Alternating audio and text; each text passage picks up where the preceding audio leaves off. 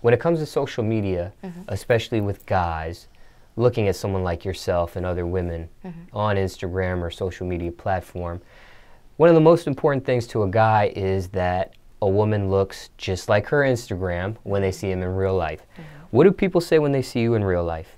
Well, they tend to tell me I look better in person than in real life, and once Oh, better in person than uh, the internet. Oh, I'm sorry. Yeah, then Instagram. I'm sorry. Yes, they always told me that, and I'm like, thank you.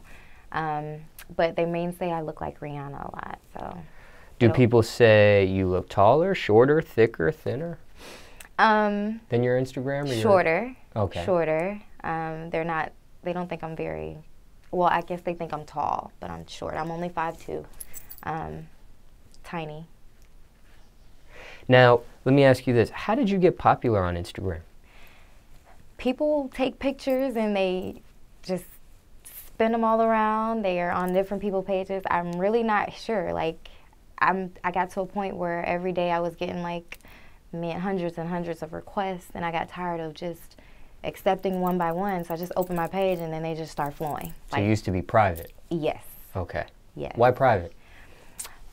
Because I have people that I didn't really want watching me at a certain extent, but after a while, I got to the point was like, I can't keep blocking you, so now I guess you can just watch me do me.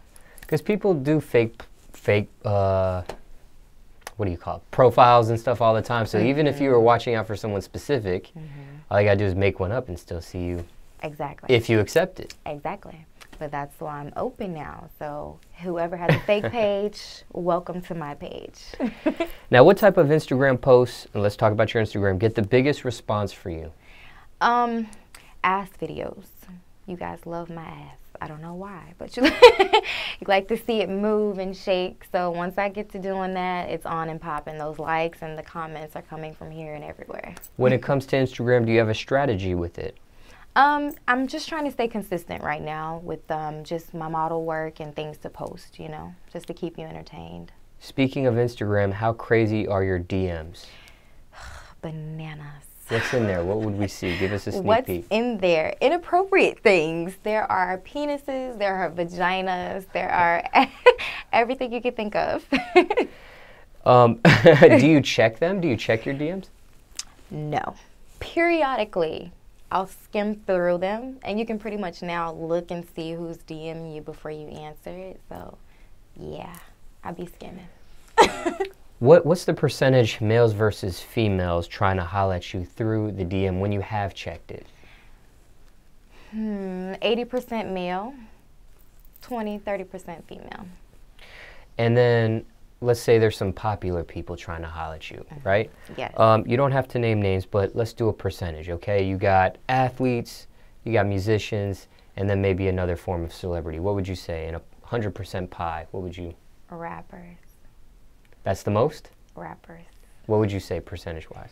Um, of the hundred percent, maybe give five or ten. You know, not mm, they could be more than what they seem to be on their page, but I don't go looking for the information to find out. Only 5 10%? Yeah, Oh, what's the, the other 100 90 hitting out of the hundred, those are just, I guess, regular people. oh, okay, okay, okay, okay. I mean, you know, Now, of the again, you don't have to say names, but of the people that have, with some popularity, that have tried to holler at you through the DM, has anybody uh, surprised you, or maybe you were a fan of their work or fond of their work?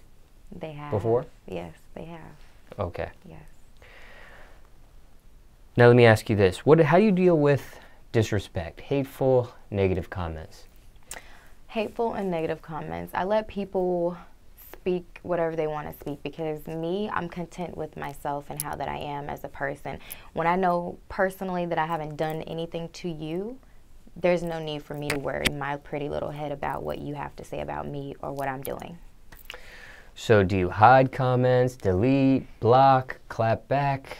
Um, depending on how I'm feeling, I might say something back to you, but it's just all in how I'm feeling, not because you thought you did something. Now, there was an instance where Justin Bieber was in a controver- controversial relationship, and he was, um, you know, showing pictures off of his relationship on Instagram, and he got a lot of negative flack. And he told his fans to chill out, and they didn't. And he deleted his Instagram. Hmm.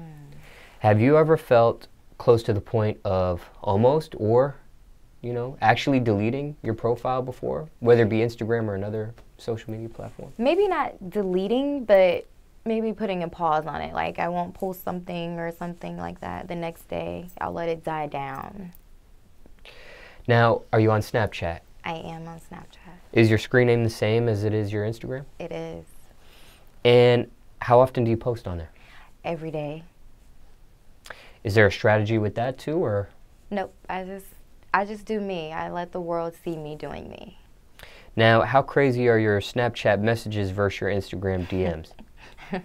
but because they can send pictures, um, yeah, it's a little bit more crazier because I know specifically what people are pinpointing when they're talking to me about it.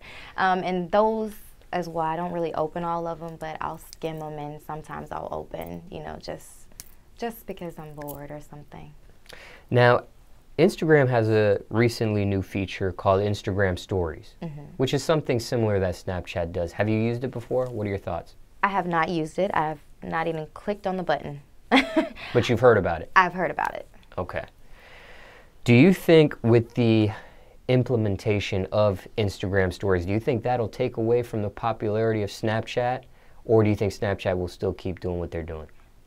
Um, honestly, because I haven't even tried Instagram out yet, I still believe that Snapchat is going to be popping because Instagram is an imitation of Snapchat. I mean, just being honest, it is. Snapchat was here first. I like Snapchat better.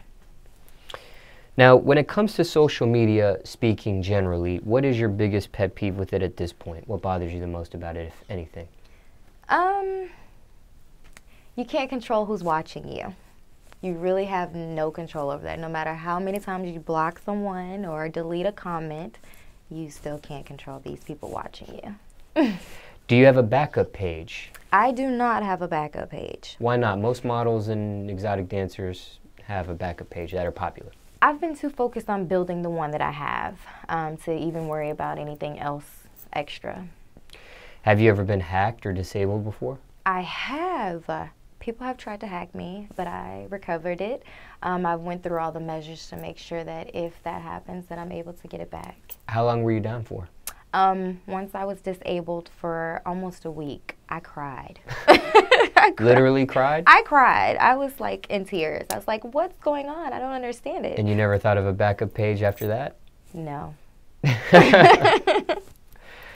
Now, what about fake pages, fake profiles? Have you seen people use your images for that? Yes, I have. Um, many times before, actually, there was this one page that would never post anything but pictures of me and nasty comments, things that were way out of my character, things that I would not dare say on the internet. So they were trying to impersonate you or just trying to down you? Impersonate me, but not knowing how to. Um, and I ended up getting them reported. All of my fans reported them because they love me. So the page got knocked down, but I'm not sure they can still be out there with it, but I haven't ran across it. So that was on Instagram? It was. Have you seen people use your images on Backpage or Craigslist and stuff like that? Yes, I've had people send me pictures saying, "Are you? Is this you for real?" And I was like, "No, baby, you got the wrong one. It's not me." So if people see you on Backpage or Craigslist, they're going to be catfished. Catfish. It's not me. Sorry, I don't swing that way. now, let me ask you this. What about stalkers? Has anybody passed or crossed that uh, internet line into real life? Um, not dramatically, but if I see someone like, let's just say in a store or something, like I've had people follow me around the store. You Oh, know? okay. Yeah, not majorly as I'm gonna find you. Where are you? Don't try anything either. Okay, because I, I have heard some stuff with like Chris Brown, Usher, Ashanti taking their stalkers to court. So Oh, I didn't know if that has happened to you. No, not yet.